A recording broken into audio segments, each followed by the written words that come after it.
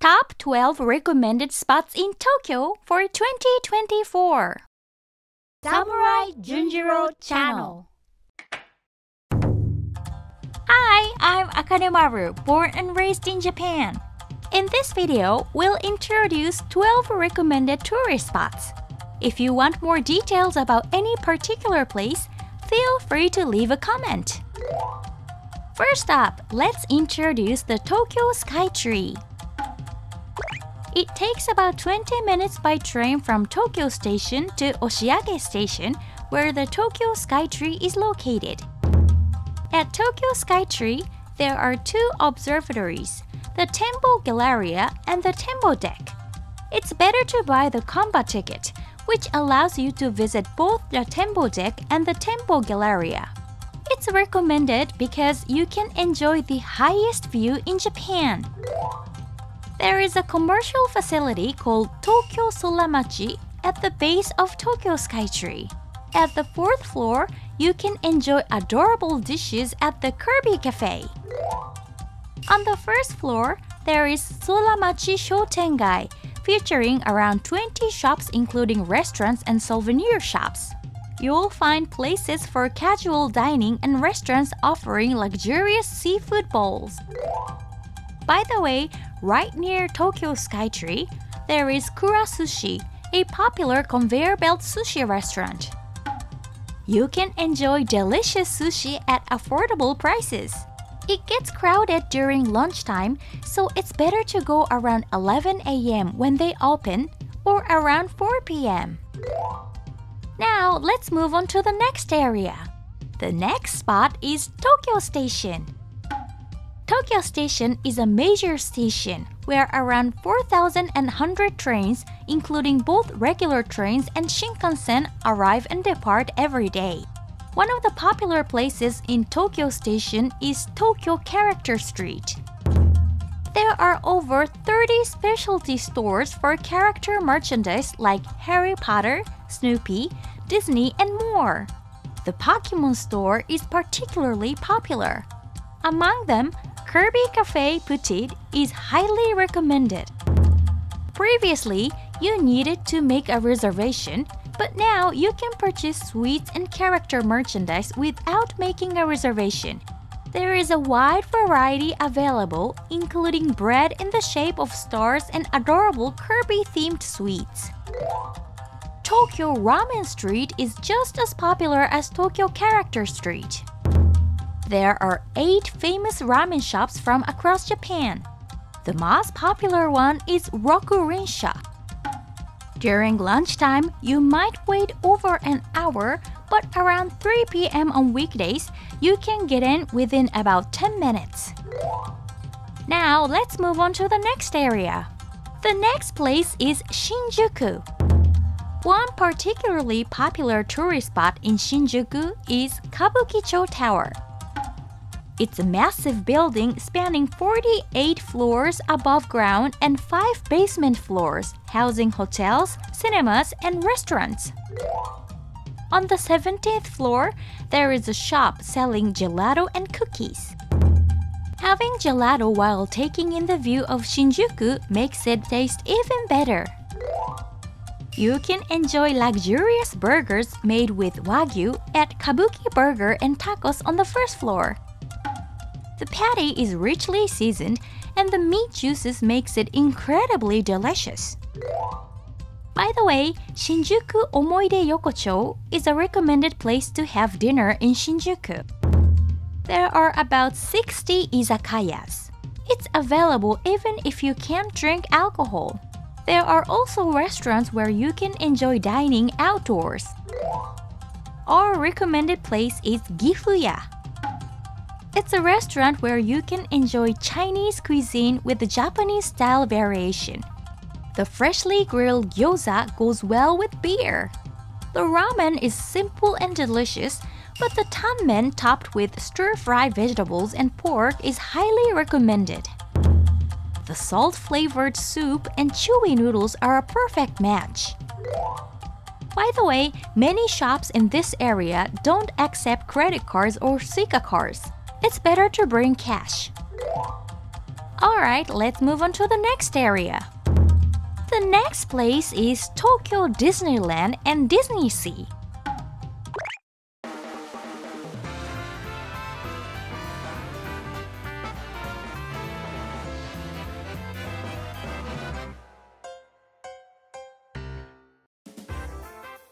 These two parks are located in Chiba Prefecture, not Tokyo. It takes about 16 minutes by train from Tokyo Station to Maihama Station, where Tokyo Disney Resort is located, so it's easily accessible. The tickets are not sold on site, so you need to purchase them in advance on the website. By the way, Tokyo Disney Sea will open a new area called Fantasy Springs. It's themed around three movies Frozen, Tangled, and Peter Pan.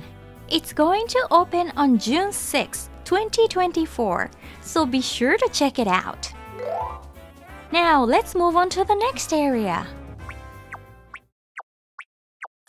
Next up is Tokyo Tower. There are six stations around Tokyo Tower. Using Google Maps, it's easy to find out which station is most accessible from your location. There are two observatories at Tokyo Tower.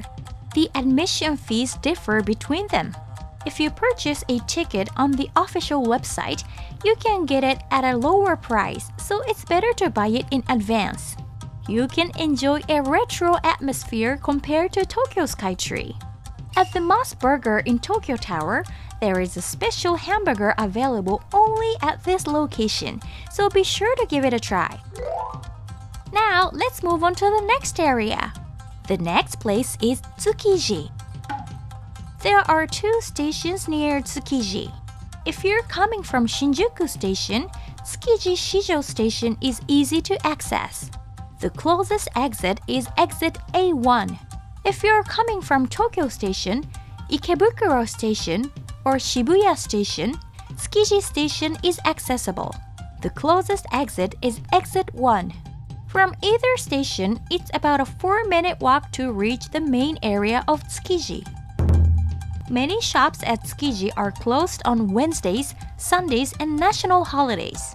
Saturdays tend to be crowded with Japanese tourists, so it's recommended to visit on Mondays, Tuesdays, Thursdays, and Fridays. By the way, around 11 a.m. is the busiest time at Tsukiji and many shops close around 2 p.m. Many shops open early in the morning, so if you come around 7 a.m., it's not too busy, allowing you to enjoy a relaxed meal. There are many small shops at Tsukiji, and most of them don't have restrooms. If you want to use one, Tsukiji Uogashi is recommended.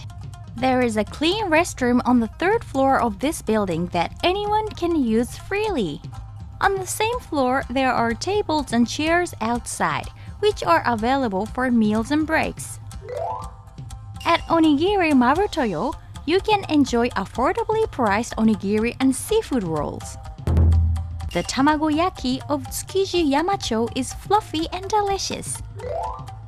We also recommend Wakaba, a ramen specialty shop open from 6:30 a.m. Their ramen has thin noodles that blend well with the soup. Now, let's move on to the next area. Next stop is Akihabara. It takes about 4 minutes by train from Tokyo Station to Akihabara Station. Akihabara is a famous district known for electronics and anime. If you go shopping, Don Quijote is recommended. There is a wide variety of popular items exclusive to this place, and there is also a maid cafe. You can try beef skewers at Maruju Seinikuten on the first floor. Kobe beef is tender and melts in your mouth. Please give it a try. A building directly connected to the station called Atre Akihabara 2 houses Shabuyo, a restaurant where you can enjoy all you can eat shabu shabu. It's only on weekdays, but you can enjoy unlimited all you can eat from the time of entering the restaurant until lunchtime ends at 4 p.m. If you come in at the opening time of 11 a.m., you can stay for up to 5 hours. We explained in more details in another video. There is a link to the video in the description box. Now let's move on to the next area. The next place is Ginza. From Tokyo Station to Yurakucho Station, it's just one station by train and takes about 2 minutes. There are many high-end brand stores in Ginza, but lately the number of more affordable shops has been increasing. If you go shopping, Marronnier Gate Ginza 2 is especially recommended. It houses Uniqlo, GU, and the supermarket called OK. Especially the bento section at OK is a must-visit spot. You can buy seafood bowls that would cost double if eaten in Tsukiji and bento made with the highest grade A5 Wagyu all at affordable prices. It's highly recommended, so definitely check it out. There is Ginza Itoya, a specialized stationery store located about a 5-minute walk from the Yurakucho station. It offers over 140,000 stationery items across 8 floors. There is a wide variety of items including unique products and high-end pens, so you'll find what you want. Alright, let's move on to the next area. Next stop is Harajuku. Harajuku is next to Shibuya, so you can walk there. It takes about 28 minutes by train from Tokyo Station.